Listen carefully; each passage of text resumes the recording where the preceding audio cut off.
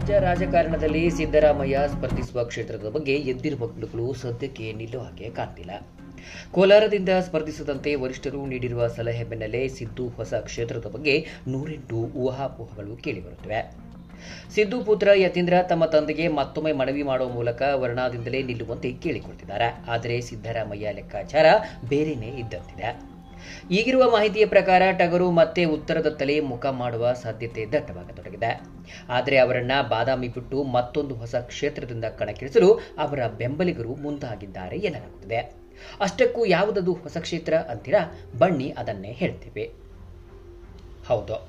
ಸಿದ್ದರಾಮಯ್ಯ ಕ್ಷೇತ್ರ ಗೊಂದಲ ಒಂದು ರೀತಿಯಲ್ಲಿ ಅವರ ಬೆಂಬಲಿಗರಲ್ಲಿ ಅಸಮಾಧಾನ ಮೂಡಿಸುತ್ತಿದೆ.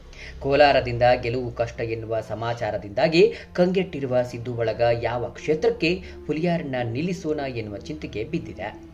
ಅಸಲಿಗೆ ಕೋಲಾರದಿಂದ ಹಿಂದೆ ಸರಿಯದಂತೆ ಒತ್ತಡ ಹೆಚ್ಚುತ್ತಿದ್ದರೂ ಸಿದ್ದರಾಮಯ್ಯ ಕೋಲಾರದಿಂದ ಕಂಟೆಸ್ಟ್ ಮಾಡುವುದು ಮುಗಿದ ಅಧ್ಯಾಯ ಎಂದೇ ಹೇಳಲಾಗುತ್ತಿದೆ ಸದ್ಯದ ಮಾಹಿತಿ ಪ್ರಕಾರ ಸಿದ್ದರಾಮಯ್ಯ ಕೋಲಾರ, ಬಾದಾಮಿ ಹಾಗೂ ವರ್ಣ ಬಿಟ್ಟು ಮತ್ತೊಂದು ಸುರಕ್ಷಿತ ಕ್ಷೇತ್ರದಿಂದ ಕಣಕ್ಕಿಳಿಯುವ ಚಿಂತನೆ ನಡೆಸಿದ್ದಾರೆ ಎನ್ನಲಾಗುತ್ತಿದೆ.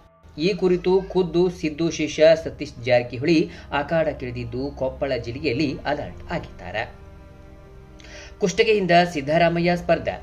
ಮೂಲಗಳ ಪ್ರಕಾರ ಸಿದ್ದರಾಮಯ್ಯರನ್ನ ಕುಷ್ಟಗಿಯಿಂದ ಕಣಕ್ಕಿಳಿಸಲು ಕೈಪಡೆ ಸಜ್ಜಾಗತೊಡಗಿದೆ ಎನ್ನಲಾಗಿದೆ ಇದಕ್ಕೆ ಪುಷ್ಟಿ ನೀಡುವಂತೆ ಸಿದ್ದು ಪರಮಾಪ್ತ ಸತೀಶ್ ಜಾರಕಿಹೊಳಿ ಕುಷ್ಟಗಿಯಲ್ಲಿ ಅಲರ್ಟ್ ಆಗಿದ್ದಾರೆ. ಕಳೆದೊಂದು ವಾರದಿಂದ ಕುಷ್ಟಗಿಯಲ್ಲಿ ಓಡಾಡುತ್ತಿರುವ ಸತೀಶ್ ತಮ್ಮ ಫೌಂಡೇಶನ್ ಮೂಲಕ ಹಲವು ಸಾಮಾಜಿಕ ಕಾರ್ಯಗಳಲ್ಲಿ ಭಾಗಿಯಾಗುತ್ತಿದ್ದಾರೆ. ಒಂದು ರೀತಿಯಲ್ಲಿ ಗ್ರೌಂಡ್ ವರ್ಕಿಂಗ್ ನಡೆಸುತ್ತಿರುವ ಸತೀಶ್ ಗುರುವಿನ ಗೆಲುವಿಗೆ ಮತ್ತೆ ಹೆಗಲು ಕೊಡಲು ಸಜ್ಜಾಗಿದ್ದಾರೆ.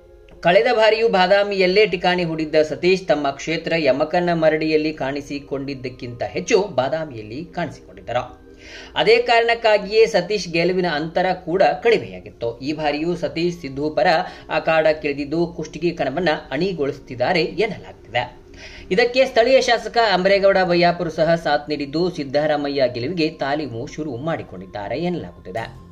ಕಳೆದ ಕೆಲ ತಿಂಗಳ ಹಿಂದೆಯೂ ಕುಸ್ತಿಗೆ ಹೆಸರು ಕೇಳಿ ಬಂದಿತ್ತಾದರೂ ಸಿದ್ದು ಖುದ್ದು ಈ ಮಾಹಿತಿಯನ್ನ ತಳ್ಳಿ ಹಾಕಿದ್ದಾರಲ್ಲದೆ ತಮ್ಮಣ್ಣ ಆಹ್ವಾನಿಸಿದ ಜನತೆಗೆ ಧನ್ಯವಾದ ಹೇಳಿದರು. ಕೊಪ್ಪಳವೋ ಕುಷ್ಟಗಿಯೋ ಸಿದ್ದರಾಮಯ್ಯ ಹಿಂದೆ ಕೊಪ್ಪಳದಲ್ಲಿ ಸ್ಪರ್ಧಿಸಿದ ಇತಿಹಾಸ ಹೊಂದಿದ್ದಾರೆ. ಹೀಗಾಗಿ ಜಿಲ್ಲೆಯಲ್ಲಿ ಮತ್ತೊಮ್ಮೆ ಅವರ ಹೆಸರು ಮುನ್ನೆಲೆಗೆ ಬಂದಿದೆ. ಕೊಪ್ಪಳದಿಂದ ಸ್ಪರ್ಧೆಗೆ ಆಹ್ವಾನವಿದ್ದರೂ ಕೊಪ್ಪಳಕ್ಕಿಂತ ಕುಷ್ಟಗಿಯೇ ಬೆಟರ್ ಎನ್ನುವ ತೀರ್ಮಾನಕ್ಕೆ ಸಿದ್ದು ಬಳಗ ಬಂದಿದೆ ಎಲ್ಲವೂ ಅಂದುಕೊಂಡಂತೆ ನಡೆದರೆ ಸಿದ್ದು ಕುಷ್ಟಗಿಯಿಂದಲೇ ಅಖಾಡಕ್ಕಿಳಿದರೆ ಅಚ್ಚರಿಯಿಲ್ಲ ಅಂತಿವೆ ಮೂಲಗಳು. ಕುಷ್ಟಗಿ ಸೇಫ್ ಯಾಕೆ? ಒಂದು ಕುರುಬರು ದಾಖಲೆ ಸಂಖ್ಯೆಯಲ್ಲಿರುವುದು, ಎರಡು ಅಹಿಂದ ಮತಗಳು ಗಣನೀಯ ಸಂಖ್ಯೆಯಲ್ಲಿರುವುದು, ಮೂರು ಕ್ಷೇತ್ರದ ಮೇಲೆ ಕಾಂಗ್ರೆಸ್ಗಿರುವ ಬಿಗಿ ಹಿಡಿತ ಸಿದ್ದರಾಮಯ್ಯ ವೈಯಕ್ತಿಕ ಜನಪ್ರಿಯತೆ, ಪ್ರಬಲ ಬಿಜೆಪಿ ಅಭ್ಯರ್ಥಿ ಇಲ್ಲದೇ ಇರೋದು, ಕಾಂಗ್ರೆಸ್ನ ಸಾಂಪ್ರದಾಯಿಕ ಕ್ಷೇತ್ರ ಎನ್ನುವ ಅಗ್ಗಳಿಕೆ ಒಂದು ವೇಳೆ ಸಿದ್ದರಾಮಯ್ಯ ಕುಷ್ಟಗಿಯಿಂದ ಸ್ಪರ್ಧಿಸಿದರೆ ಕಲ್ಯಾಣ ಕರ್ನಾಟಕದ ಸುಮಾರು ಇಪ್ಪತ್ತೆರಡು ಕ್ಷೇತ್ರಗಳ ಮೇಲೆ ಪ್ರಭಾವ ಬೀರಲಿದೆ. ಅಲ್ಲದೆ ಕೈಪಡೆ ಗೆಲುವಿಗೆ ಇದು ಸಹಕಾರಿಯಾಗಲಿದೆ ಎಂದೇ ವಿಶ್ಲೇಷಿಸಲಾಗುತ್ತಿದೆ ಒಟ್ಟಿನಲ್ಲಿ ಸಿದ್ದರಾಮಯ್ಯ ಕ್ಷೇತ್ರ ತೊಳಲಾಟ ಮುಂದುವರೆದಿದ್ದು ಕೊನೆ ಗಳಿಗೆಯಲ್ಲಿ ಹುಲಿಯ ಕುಷ್ಟಗಿಯಿಂದ ಅಖಾಡಕ್ಕಿಳಿದರೂ ಅಚ್ಚರಿಯಿಲ್ಲ. Bureau report NK news.